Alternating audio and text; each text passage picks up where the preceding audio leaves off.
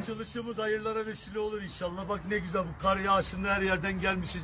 Ülkemizin dört bir yanından gelmişiz bir dava uğruna. Eğer bir davaya, davaya inanıyorsak zaten başarılı olacağız Allah'ın izniyle. Dün Metin Külük ağabeyimizin dediği gibi eğer bu ülke bu ülkemiz için öleceksek burada yaşayalım. Yoksa terk edelim gidelim.